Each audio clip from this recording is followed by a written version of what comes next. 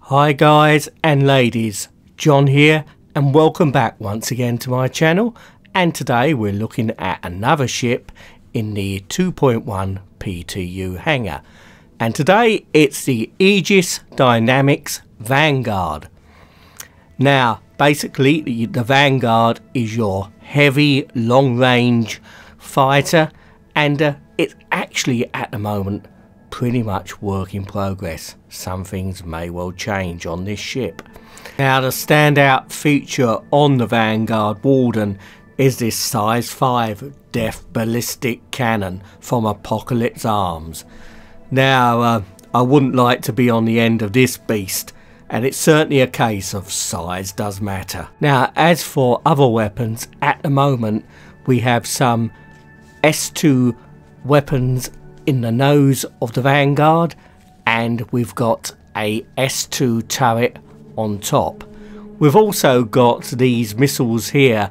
Now I'm not totally sure whether that placement is final because there are some postings on the RSI ship forums which seem to indicate that the weapons may well be um, in an internal bay but maybe that idea has been dropped um, because there was also an indication uh, on the forum that the original uh, concept design did feature that the top turret uh, was uh, retractable but at the moment uh, it doesn't seem to uh, appear to be so.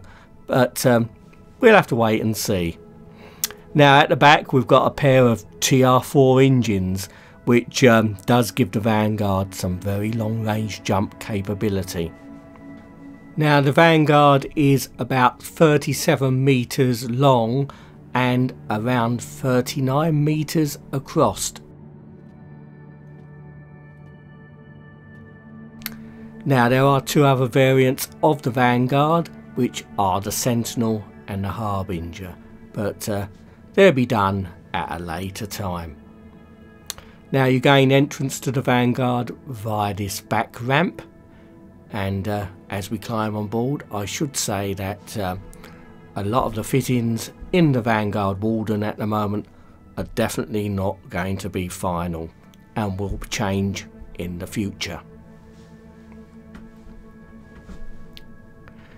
Now let's move into the main um, compartment of the Vanguard. Now this is a two-man ship and actually this whole compartment uh, does actually function as a, an escape pod if um, your ship is unfortunate enough to be uh, seriously damaged. You can uh, use it as a bit of a lifeboat. Now there is a control panel here. Um, this is very similar to the one on the Retaliator.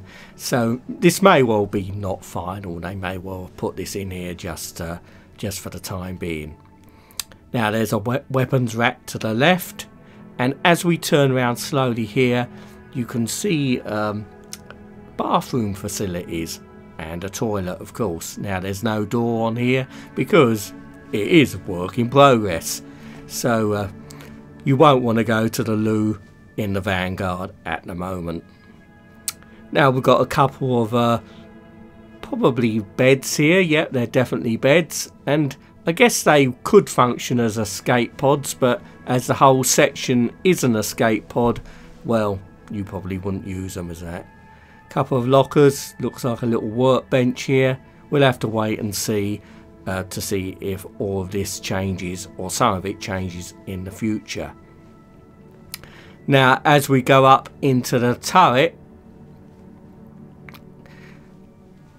you'll see that the visibility is uh, pretty good. Obviously, um, early days for this turret yet.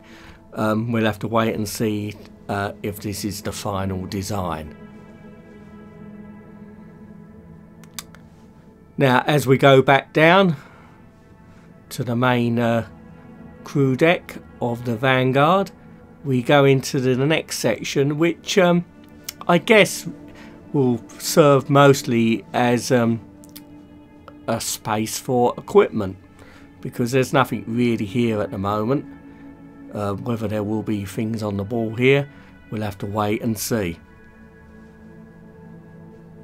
obviously there's a lot of uh, internal uh, uh, ship components which would be running through the entire um, hull of the Vanguard so maybe that's simply a, a, space for them. Now to access the pilot seat um, the actual seat is on a set of rails so you don't actually have to walk into the cockpit you can see here through this third person view how it slides in so we've made it into the cockpit of the uh, Vanguard and as you will see there's a very nice control panel and some very nice visibility from the pilot's seat. Now obviously uh, the control panel is work in progress. We'll have to wait and see how this turns out when the ship is flyable. Well that's just a quick look at the Aegis Dynamics Vanguard Warden. So um, we'll have to come back in the future to see what changes when the ship is flyable. So until then, thank you very much for watching. Please don't forget to like and subscribe. Bye for now.